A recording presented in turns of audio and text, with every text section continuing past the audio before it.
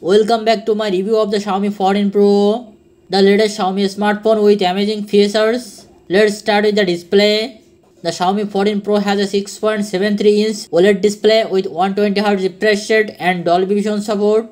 The display has in-display fingerprint sensor with HDR10 Plus and Xiaomi Longjing glass protection.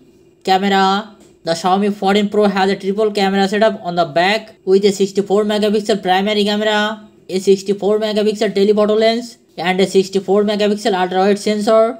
In the front there is a 32 megapixel selfie camera which takes great selfies and video calls. Processor The Xiaomi 14 Pro is powered by Qualcomm Snapdragon 8 Generation 3 chipsets with 12GB to 16GB of RAM and 256GB to 1TB of storage. Battery the Xiaomi 14 Pro has a 4880 mAh battery with 120 watt fast charging which charges the phone 100% in 18 minutes. It also has a 50 watt wireless charging and a 10 watts reverse wireless charging. Colors black, silver, titanium and green. I hope you found this review useful. If you think this video is useful, then please subscribe our Tech Garden channel and hit the like button. Thank you so much in the next video.